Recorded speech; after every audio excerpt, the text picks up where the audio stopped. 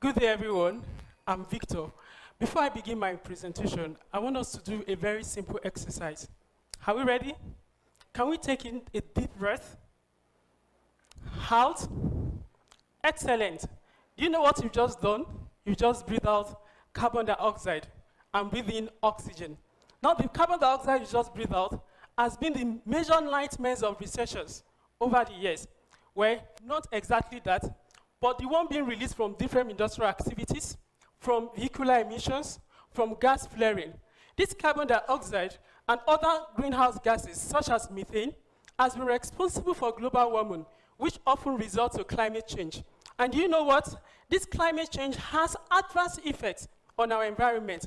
Can you still remember the devastating flood disaster in eastern coast of Malaysia? And the concern of environmentalists and researchers has been how to mitigate the effects of this global warming. And that is the focus of my research.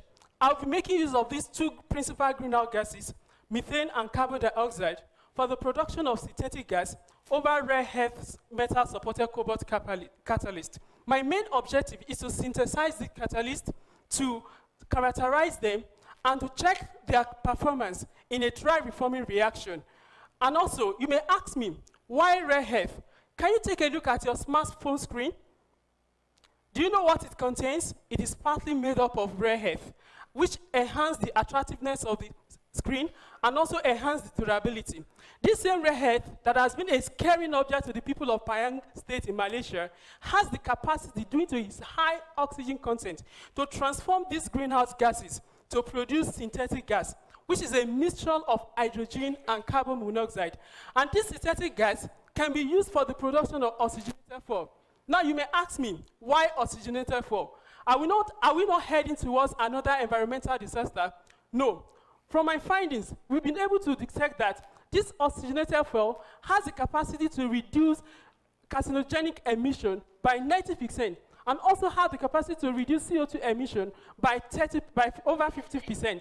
And from my findings in the laboratory, we've been able to produce the synthetic gas using the rare earth metal support cobalt, uh, support cobalt metal, support metal cobalt catalyst, which is a, a, form of chemical intermediate for the production of this oxygenated fuel. And I want you to know that I have this assurance in me that with the production of synthetic gas, we are heading towards a greener environment, which we be able to substitute conventional fossil fuel with oxygenated fuel. Now, I wish to see you there in a very soon future. Thank you.